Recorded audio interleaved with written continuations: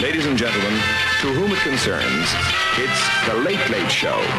And here is your host, Gay Byrne.